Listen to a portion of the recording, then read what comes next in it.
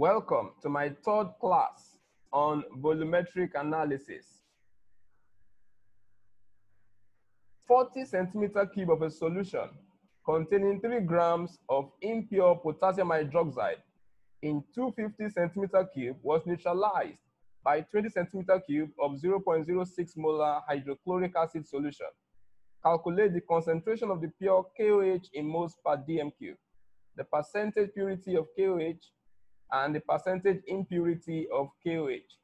Pause this video to write the question down.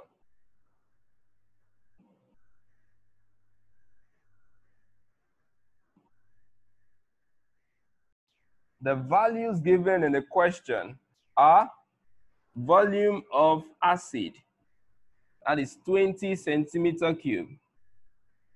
Concentration of acid, 0.06 mole per dm cube. Volume of the base given, 40 centimeter cube. We're not given the concentration of the base. We need to look for that. The equation for the reaction is KOH plus HCl. This gives us KCl plus H2O. Number of moles for the base is 1. Number of moles for the acid is 1. So this is ratio 1 to 1 base to acid. Therefore, concentration of the base, our first part of the question, concentration of the base equals concentration of the acid multiplied by volume of acid divided by volume of the base. Concentration for the acid is 0.06. Volume of acid is 20. Volume of base is 40. Concentration of the base in moles per dm cube equals 0.03 moles per dm cube. This answers the first part of our question. For the second part of the question, the question gave us 3 grams of KOH in 250 centimeter cube. 3 grams of KOH in 250 centimeter cube. Therefore, this is equivalent to 12 grams of KOH in 1000 centimeter cube. And mass concentration for KOH is 12 grams per dm cube.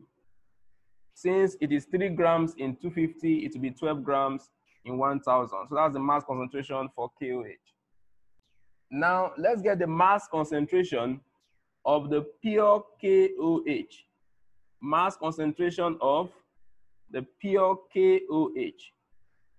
And we can do that by multiplying the molar concentration by the molar mass of KOH.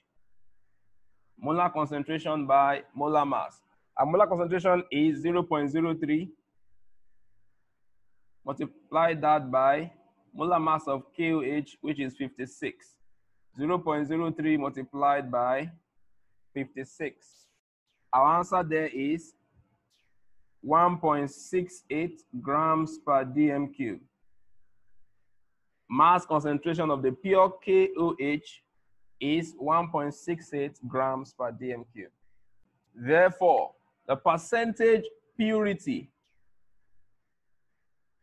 percentage purity of KOH equals the mass of the pure KOH divided by the impure KOH multiplied by 100. Mass of the pure divided by mass of the impure multiplied by 100. The mass of the pure is 1.68. The mass of the impure is 12. Multiply that by 100. Our answer there is 14%. So 14% pure KOH present. The last part of the question is to find percentage impurity. Percentage impurity is 100 minus percentage purity. Percentage impurity is 100 minus purity. A purity is 14. So 100 minus 14. That will give us 86% impure. So percentage impurity is 86%.